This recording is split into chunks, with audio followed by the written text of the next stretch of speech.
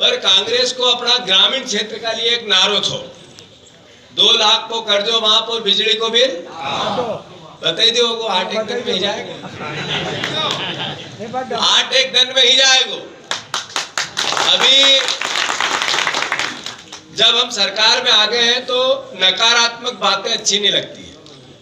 BJP के लोग कहते हैं जगह जगह बात करते हैं। हमारे पास भी खबर आती है कि फार्म भराने की कई ज़रूरत थी। कैलाश विजयवर्गीय जी कह रहा था अभी कि अगर देना हो तो सबके सोसाइटियों में खाते हैं। उधर से लो इधर डाल दो।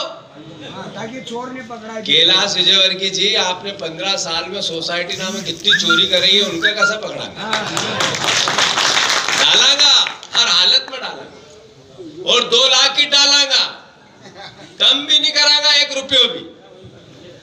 पर आप लोगों ने जितना भ्रष्टाचार पिछले पंद्रह साल में सोसाइटियों का नाश कर दिया वो कैसे हो फिर एक बात निकली कि दो लाख रुपया को लालच दिन चुनाव जीतिया है। अभी एक नई बात आई रही है। आई आई।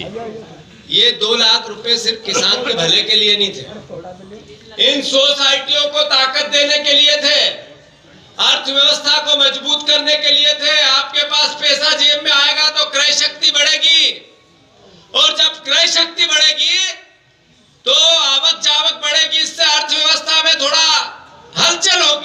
इसलिए भी था। राहुल गांधी जी पिछले तीन साल से लगातार कहते थे मोदी जी कि मोदी जी, किसानों की मदद करो। मिलने गए, भाषणों में कहा, हर चुनाव में लिया। मज़ाक करते थे।